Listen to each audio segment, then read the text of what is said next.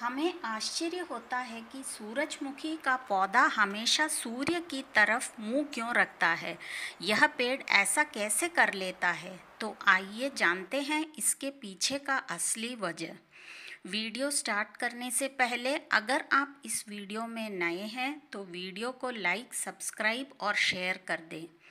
दोस्तों, सूरजमुखी के फूलों की सबसे बड़ी खासियत यह होती है कि ये हमेशा उसी तरफ़ मुँह किए रहता है जिस तरफ़ सूरज जाता है।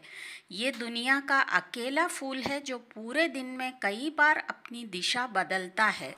दिन की शुरुआत में ये पूर्व दिशा की ओर रहता है और दिन का अंत होने पर ये पश्चिम दिशा में पहुँच जाता है।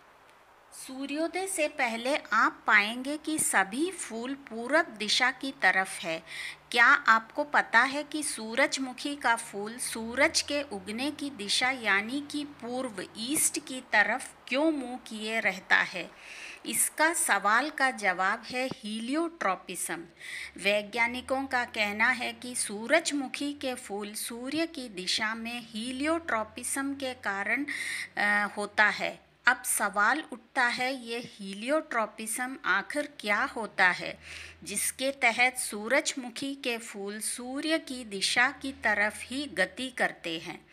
तो हम आज आपको बता दें कि साल 2016 में हुई एक रिसर्च से ये पता चला है कि जिस तरह इंसान के शरीर के अंदर एक बायोलॉजिकल क्लॉक होता है, उसी तरह सूरजमुखी के फूलों में भी एक खास तरह की व्यवस्था होती है, जिसे हीलियोट्रोपिसम कहते हैं। दूसरे अर्थों में इसे सूरजमुखी की जैविक घड़ी भी कहा जाता है। सूर्य की किरणों को डिटेक्ट करके फूलों का उस तरफ़ मोड़ने को प्रेरित करते हैं जिस तरफ़ सूर्य है। यह फूल रात में आराम करते हैं और दिन में सूर्य की रोशनी पाते ही ये एक्टिव हो जाते हैं। यानी कि सूर्य की रोशनी जैसे जैसे तेज हो जाती है, ठीक उसी तरह सूर्यमुखी के फूल की भी सक्रियता बढ़ती है। सूरजमुखी की जड़, पत्ते, फूल और बीज में इतने पोषक गुण होते हैं कि आयुर्वेद में सूरजमुखी को औषधि के रूप में प्रयोग किया जाता है।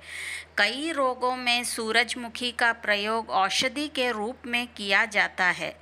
सूरजमुखी के बीजों का इस्तेमाल तेल बनाने के लिए किया जाता है, जो पोषक तत्वों से भरपूर होते हैं।